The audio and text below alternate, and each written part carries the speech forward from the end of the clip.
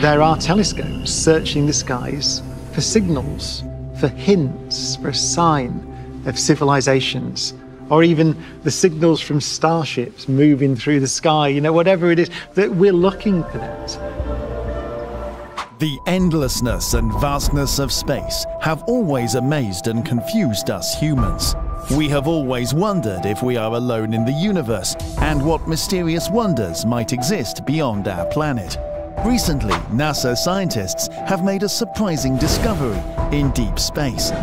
They found a huge source that is sending many radio messages to Earth, raising intriguing questions. Could these messages be attributed to a natural phenomenon, or is there another explanation waiting to be discovered?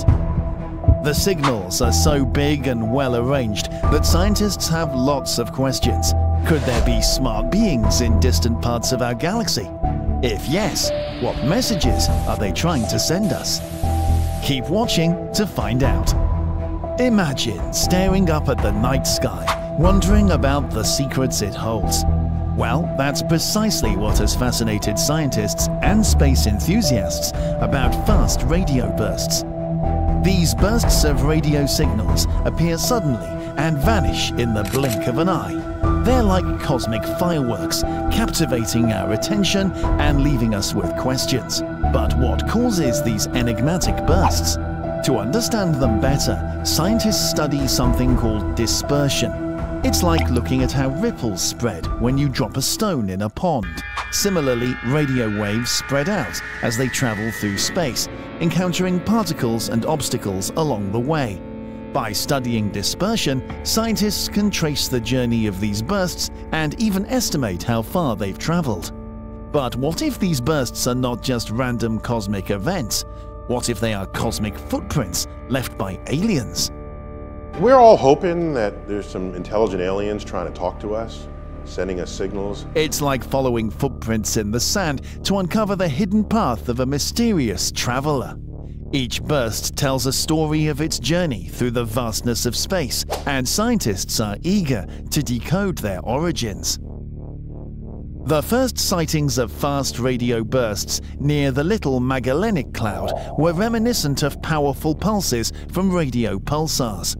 However, measuring and understanding them fully was a challenge due to technological limitations. Researchers suspect that countless bursts might have eluded detection, occurring with surprising frequency, perhaps hundreds of times each day.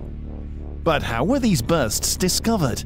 Interest in fast radio bursts soared when a student named Sarah Burke Spolaor made a groundbreaking discovery she found another burst with a dispersion pattern. This nice characteristic fast rise and exponential tail in the light curves, and you can see the light curve at, at three different frequencies there.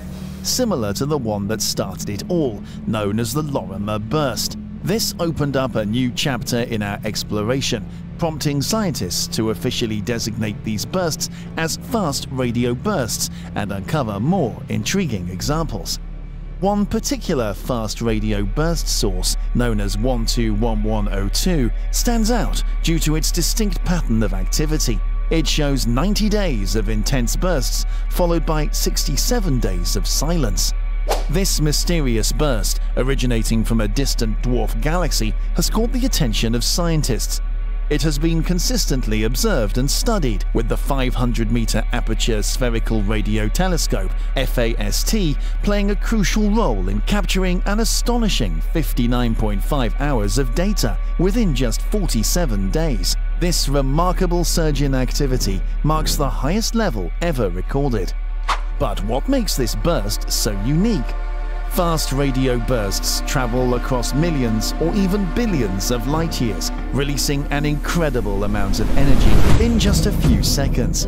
These bursts are so powerful that they surpass the combined output of hundreds of millions of suns. In a particular case, a fast radio burst, named 190520, exhibited an unusually high frequency of repetition, with 75 bursts occurring within a six-month period. Using the Very Large Array Radio Telescope, scientists were able to trace the source of this mysterious signal. They uncovered a faint radio emission coming from the same region, which was a significant finding. However, determining the distances of fast radio bursts has remained a challenge, with only a small fraction being successfully measured. The revelation of this extraordinary burst raises perplexing questions about the reliability of the dispersion method and its ability to accurately determine the distances of fast radio bursts.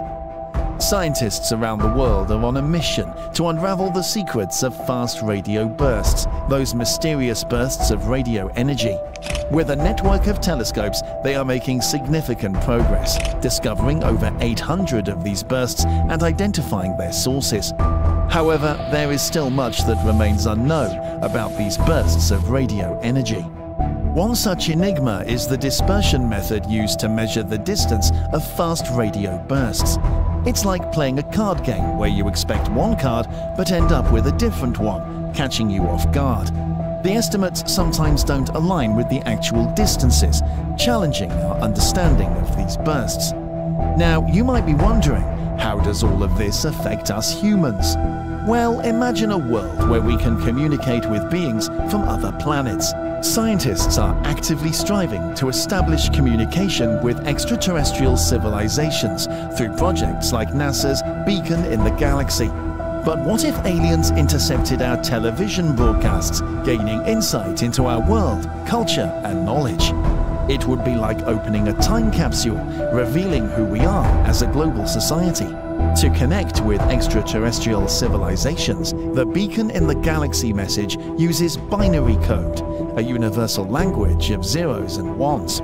But will aliens understand these symbols as we do? It's hard to communicate with different species. People are debating whether it's a good idea to talk to aliens.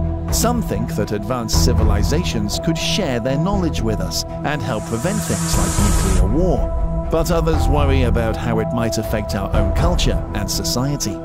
Even though the chances are small that aliens will notice our messages, some still think we should try. I'm ready for ET to phone home or to phone us. I'm ready. We'll be there. But we need to be careful about what we say, why we say it, and who speaks for humanity. We know there will be mistakes, so it's important to have a global conversation with different viewpoints. Thinking about talking to aliens is exciting and makes us realize how big the universe is. It's a chance to learn more about ourselves and what else is out there. Fortunately, time and distance serve as safeguards, assuming that aliens are not already present. The exchange of messages with extraterrestrial beings would endure for thousands or even millions of years, alleviating concerns about the potential harm caused by excessive broadcasting or receiving communications from them. Such interactions would occur in the distant future, possibly involving future generations far removed from our present time. We can only hope that they will perceive themselves as fortunate and not regret their luck when that day eventually arrives. We've heard nothing. We, we've searched in more detail, with better telescopes, more systematically. By no means exhaustively, by the way. I think we could do much more. But we've searched and we've heard nothing. So, what do you think? Should we try to talk to aliens or not? Let us know down in the comments. Until next time.